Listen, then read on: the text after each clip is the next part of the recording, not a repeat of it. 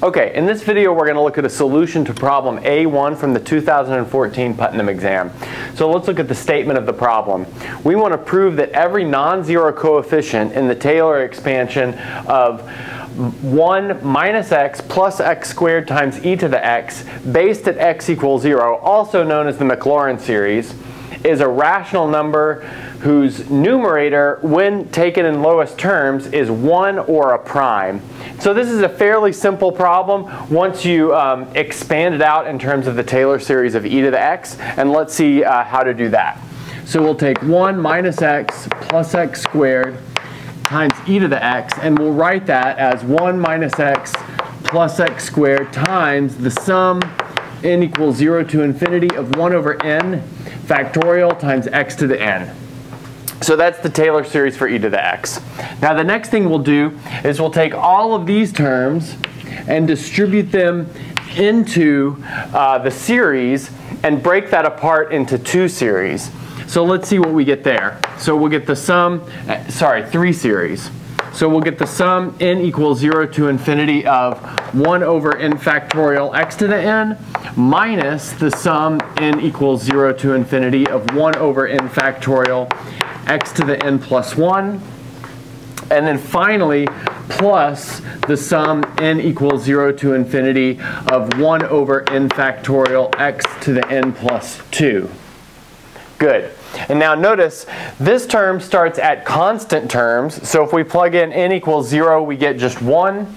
This term starts at x to the first power type terms. So if we plug in n equals 0, we'll get x. And then that term over there starts at um, x squared type terms. So if we plug in n equals 0, we get x squared. And so what we want to do is extract terms from this first sum and this second sum so that they both start at um, x squared type terms. So that means we need to extract two terms from this first sum. So we're going to extract 1 plus x plus the sum n equals 0 to infinity of, sorry, now it's the sum from 2 to infinity of 1 over n factorial x to the n. So I didn't reindex or anything yet. That's my next step. But I did take out the first two terms. Now we're going to take out the first term of the next one, x minus the sum n equals 1 to infinity, 1 over n factorial x to the n plus 1. Okay, great. And now the last one is unchanged because it has the strictest condition that we're trying to match. Good. Now the next thing we want to do is reindex these three sums so that they all have uh, the same power of x. And let's reindex them all into the x to the n power, which means here in this one we're going to replace n with n minus 1, and in this one we're going to place n with n minus 2. So that's what we'll do in the next step. And we'll also notice that these two terms cancel each other. Good. So that's going to give us 1 plus, so now we have the sum n equals 2 to infinity of 1 over n factorial. But now I'll, uh, well actually let's write this all out. So x to the n minus the sum n equals 2 to infinity of 1 over, so this is going to be um, n minus 1 factorial x to the n, and now we have plus the sum n equals 2 to infinity of 1 over n minus 2 factorial x to the n. Okay, fantastic. So now uh, putting all those together, we get the following. So this is equal to 1 plus the sum n equals 2 to infinity of, so I'll let you guys combine this 1 over n factorial minus 1 over n minus 1 factorial plus 1 over um, n minus 2 factorial, and you'll see that you get n minus 1 over n times n minus 2 factorial x to the n. So that's what we get from all this simplification. So now what I'll do is I'll clean this up, I'll bring this term up to the top, and then we'll move on to the rest of the problem.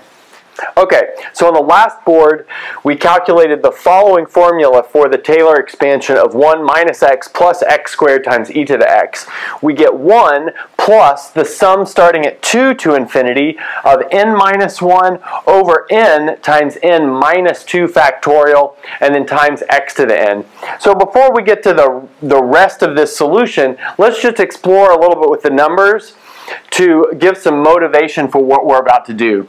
So let's make a chart n and then n minus 1 over n times n minus 2 factorial just to see that indeed when we do the simplification we get a 1 in the numerator or a prime in the numerator. Okay, so let's take this n equals 2 is the first one. So notice we're going to have a 1 in the numerator and then a 2 times 0 factorial, which is 1 in the denominator. So we have half.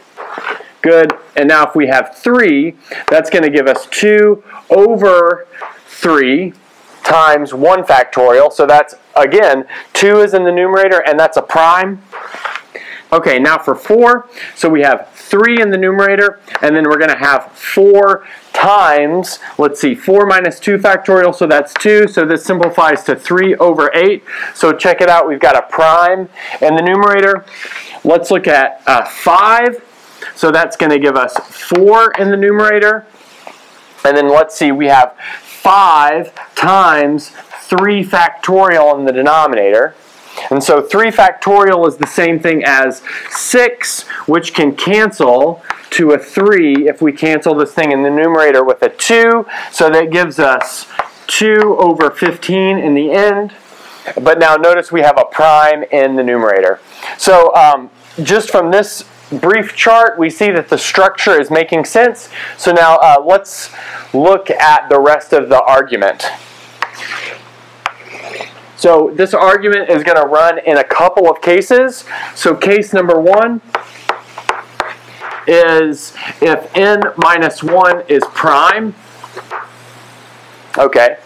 So if n minus 1 is prime, then uh, notice we can make the following observation, that uh, n minus 1 is relatively prime to n minus 2 factorial. That's clear because it doesn't have any factors apart from itself and 1, and it's relatively prime to n. And that's easy to show because consecutive numbers are relatively prime. And so even though n isn't smaller than n minus 1, we know it's consecutive to n minus 1, so it's relatively prime. Um, but that means the lowest terms of this fraction is exactly n minus 1 over n times n minus 2 factorial. There's actually nothing to do there. There's no simplification that can happen. Okay, now uh, let's look at case number 2 and that is n minus 1 equals p squared, where p is a prime. Great. But now in that case, notice that uh, P occurs in n minus 2 factorial. So that's pretty easy to see because notice P squared um, is so n minus 1 being p squared means that p is going to be smaller than or equal to n minus 2. That's pretty obvious. Um, so p occurs in, in uh, n minus 2 factorial, but that means in lowest terms, the numerator is 1 or p. So the thing is, um, we don't really care how much more it cancels. We know at least one of these copies of P does cancel, but we don't know if the other copy of P cancels. It actually does. You can show that with a little bit more work, but we don't need to because what we want to show is that the numerator cancels down to 1 or a prime, and we know that, that those are the only two possibilities, that it cancels down to 1 or a prime. Okay, so I'll clean up this bit of the board and then we'll look at the final case of this problem. Okay, so now we're ready to finish this off. So case number three is n minus 1 equals a times b, where a is not equal to b. So it is not a square of a prime, in other words. But this case is actually the easiest because in this case, A and B both occur in um, n minus 2 factorial. And what I should say here is that neither of these are equal to 1. So that's important in this case. And so A and B both occur in um, n minus 2 factorial, but in that case, the numerator is going to cancel all the way down to 1 because both of those will cancel in this n minus 2 factorial bit. Okay, so that's the end of the solution to this problem.